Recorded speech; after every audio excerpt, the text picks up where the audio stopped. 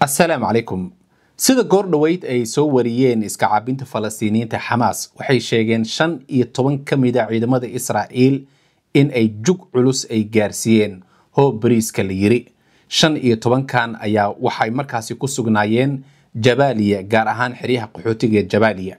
Waxaana halkaasi ka dhacay maanta wax ay horay ay u arkeen wax ka duwan. Meel ay ciidamada israa'iil ay taagnaayeen iyo taangiyadooda ayaa hal mar jug culus dhulka dhan ayaa isla soo kacay. Ciidamadii israa'iil ayaa waxaa la arkay qaarkood oo cirka ku sii shareeraya oo welibana soo dhacaya hoob bariiska iyo hoob baastada ayaa maanta ka dhacday jabaaliya. Iska cabinta falastiiniyiinta weliba muuqaalkii ay soo bandhigeen insha allah waxaan soo dhigi doonaa qeybta hoose youtube-ka waxay soo raaciyeen helikabtaro soo degaya oo yacni ciidamadii kuwii ku dhaawacmay iyo kuwii ku geeriyooday oo halkaasi laga qaadayo marka maanta jug culus ayaa halkaas ka dhacday. Taa beddelkeedana ciidamada israa'iil weli waxay wadaan xasuuqa ay ka wadaan waqooyiga magaalada khaza gaar ahaan jabaaliya oo markii saddexaad tan iyo markii uu dagaalka uu bilowday muddada halka sane iyo wadartood ay ku laabteen. Welibana sidaan la socono jabaaliya ciidamada israa'iil hadda way ku hareereysan yihiin ama o wax la yidhaahdo ayay ku hayaan. Waana tan keenaysa maalmihii ugu dambeeyey in dagaal foolkafool ah ee weliba aad u daran uu dhex maro iyaga iyo iska cabinta falastiiniyiinta sababtoo ah iska cabinta falastiiniyiinta dagaalyahanadooda meel walba ayaa ciriiri laga soo saaray. Markaasi iyagana godadkii ay ku jireen intay ka soo baxeen ayay yacni dib u riixeen ciidamada israa'iil oo yacni ooda geliyay magaaladan.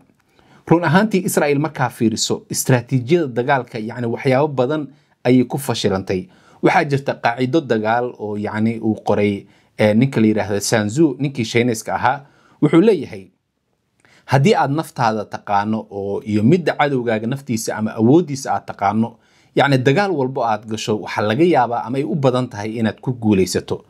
Aragtidaas waxaad moodaa in yacni iska caabinta falastiiniyiinta ay ku guulaysteen maadaama naftooda ay yaqaaniin mid cadowgoodana ay yaqaaniin wix cadowgooda ka suurtagala ay yaqaaniin waxa ay sameynaya ay yaqaaniin.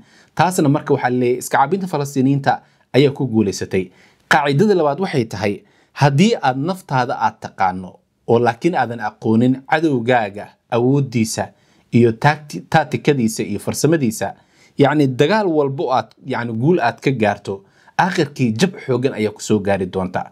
Waana tan maanta israa'iil haysata israa'iil nafteeda oo keliya ayay taqaanaa. Ma taqaano yacni dadka iyada ka soo horjeeda taatikadooda farsamadooda isku xirnaantooda. Iyadu waxay taqaanaa oo keliya burburi magaaladan xasuuq dadka gudaha ku jira.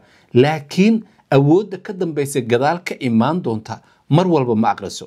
Hadda yacni waxay istiri yacni dadkan dhulka ayaad dhigtay muddo hal sano iyo wadartood ayaad gaajo iyo rafaad iyo wax walba aad gelisay. Haddana sidii masaskii oo kale ayaa gododka inta looga soo baxo weli la caaboon yahay. Inkastoo labadii maalmood ugu dambaysay run ahaantii dad masaakiin ah oo yacni dumar u badan iyo carruur ah kas iyo maag intay guryaha ay ku hareereeyeen ku tooganaya ama ay ku duqaynayeen taana waxay ka mid tahay qaybo badan oo ka mid a fulaynimada ay yacni israa'iil ay qabto. Ma aha shuruucda bini'aadanimada in dad aan waxba garabsan oo aanan qori wadan in markaasi la duqeeyo ama la dilo. Waa mamnuuc caalamka. Laakiin iyada waxay u babac dhigtay in wixii dimuqraadiyadda iyo yacni xorriyatul qoolka iyo wixii la dhahaya caalamka ee munaafaqadii ka jirtay in markaasi ay banaanka ay keentay. Marka qaacido kaleo waxaa jirta oo la leeyahay haddii aadan naftaadana aqoonin midda cadowgaagana aadan aqoonin dagaal walba aad gasho jug iyo yani xusulle ku sugayso marka israa'iil qaacidada ay hadda ay ku dagaalamayso waxay tahay dagaalka magaalada khaza waxay soo aqrisay mar walba nafteeda soo aqrisay. Awoodeyda istustay yani hubkaas ayaad haysataa maraykanka ayaa hubku siinaya. Laakiin waxaa ka hoos baxsan nimanka ay la dagaalamayso dhinac walba ha ka jiraane ee kuwa magaalada khaza marinka khaza iyo sidaasi oo kale ee dhanka xisbullah awoodooda ayay weli si fiican u aqoonin. Intaas sano ay markaasi ay gumaysanaysay dhulkan oo dhan haddana weli waxbaa u qarsoon weli waxbaa u dhiman weli inay wax barato ayaa u dhiman. Dhanka kale c n n-ka ayaa waxaa wareystay qaar badan oo ka mid a ciidamada israa'iil ee hadda ku sugan xadka waddankaasi lubnaan oo welibana ka soo dagaalamay gudaha magaalada khaza ciidankaas qaarkood ayaa waxay yidhaahdeen dhibaatadu ma ahan in xisbullah ay iiraan ay hub ay ka hesho laakiin dhibaatadu waxay tahay ay leeyihiin meesha aan ka dagaalamayno ayaa ah meel furan ma ahan sida magaalada kaza oo muddada labaatanka sano ee yacni ay xabsiga inoogu jireen. Meeshaan halista jirto waxay tahay kooxdan xisbullah aad ayay u tababaran yihiin. Sidaasoo kale meeshu waa meel buuraley ah welibana furan. Marka yacni halista ayaa aad u badan ayay leeyihiin. Haddii maanta la dhihi lahaa in dagaalka laga baaqsado aad iyo aad ayaan ugu farxi lahayn. Ciidamadii israa'iil ayaa hadda cabsida ka socoto oo hadda inta dagaalka uu socdo iyaga iyo xisbullah ee yacni la soo warinayo ee dagaalka uu ka dhex socdo ay xuduudaha ay ku dagaalamayaan boqol iyo dhowr qofna ciidamada israa'iil laga dilay hadda ayaa kaadida ka socotaa bal qiyaas iyagoo muddo hal sano iyo wadartood ka dagaalamayay gudaha magaalada kaza wixii yacni cashar iyo jug iyo hoob bariiska iyo hoob baastada ka socotay. Sidaasoo kale waxaa aad u sii badanaya ciidamada israa'iil ee diidan in dagaalka magaalada kaza iyo sidaasoo kale dhanka xisbullah ay tagaan. Sida markaasi aljaziire ay ka soo xiganayso warbaahinta israa'iil waxaan la soconnaa maalin dhexda in boqol iyo soddon ka mid a ciidamada israa'iil ay diideen inay gudaha magaalada kaza ay dib ugu laabtaan. Marka ciidamadii israa'iil ayaa hadda cabsidii iyo rucbigii ku sii badanaya.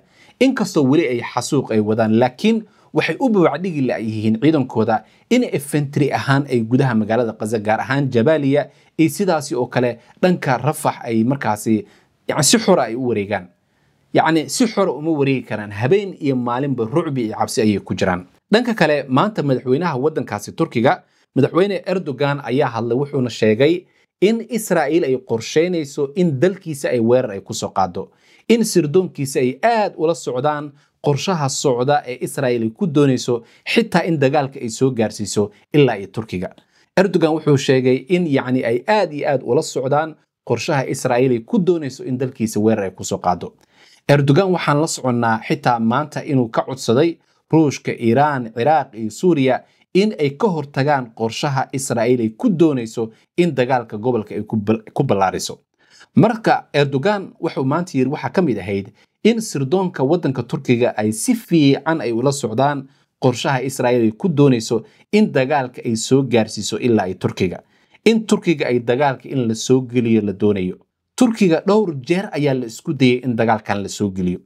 Laakiin turkiga wuxuu u fahmay ujeeddada ugu weyn inay tahay in yacni waddankan turkiga dhulka la geliyo sida suuriya iyo ciraaq oo kale. In dhulka la geliyo maadaama waddanka turkiga yacni horumar uu ka gaarayo dhanka tiknolojiyadda dhanka militariga dhanka dhaqaalaha dhanka waxay ku sheegaan dimuqraadiyadda in yacni wax badan uu horumar uu ka soo gaarayo turkiga waa uu fahmay laakiin dhowr jeer isaga laf ahaantiisa wuxuu iska soo qabtay gudaha waddankaasi suuriya haddana dib ayuu u soo laabtay.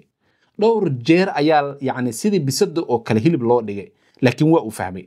Hadda mid la mid ah ayaa agaarka wad yacni la duqeynaya.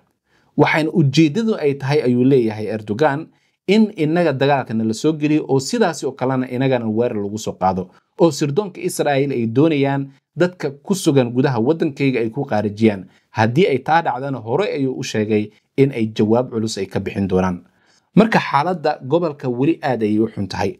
Maanta waxaa booqday guddoomiyihii baarlamaanka ee waddankaas iiraan waddanka lubnaan oo weliba meelihii xasan nasrullah iyo lagu qaarijiyey ayuu booqday ma jeceshahay barashada qur'aanka kariimka iyo culuumtiisa hab casriga online a adigoo jooga gurigaaga iyo goobtaada shaqada. Haddaba dugsiga casriga ah ee maka islaamic online waxaad ka baran kartaa qur'aanka kariimka higaadda luqadda carabiga iyo culumta shareecada. Isqoristu ay socotaa fadlan horow gaadh wixii faahfaahina nagala soo xidhi. Balaas laba shan laba lix saddex afar toddoba toddoba sagaal shan lix eber